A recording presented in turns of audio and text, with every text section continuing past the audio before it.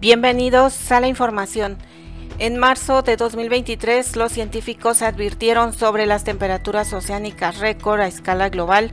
El récord continuó durante todo 2023, manteniéndose por encima de las décadas anteriores de datos satelitales y no solo por una fracción de grado.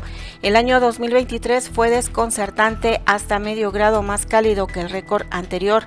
Las temperaturas globales de los océanos alcanzan su punto máximo a principios de la primavera, cuando el sol golpea el ecuador y el hemisferio hemisferio sur, calentando los océanos del hemisferio sur.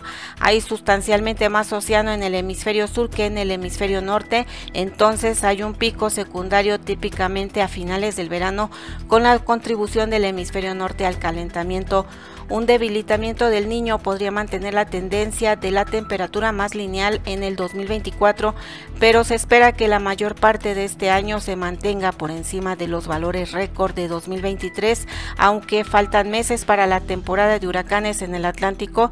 Ya hay predicciones a largo plazo de cómo eh, se desarrollará la temporada.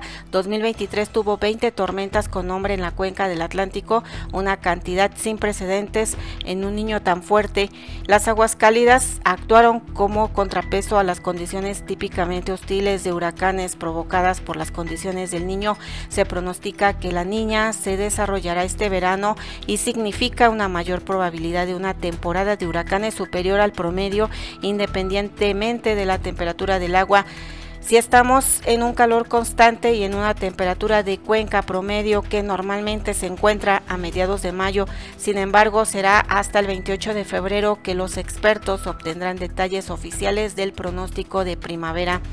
No te pierdas la información, suscríbete, activa la campana de notificaciones y si te gustó este video compártelo y déjanos un like.